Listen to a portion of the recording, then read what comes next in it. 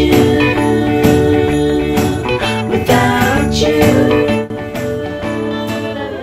Para di, para dito.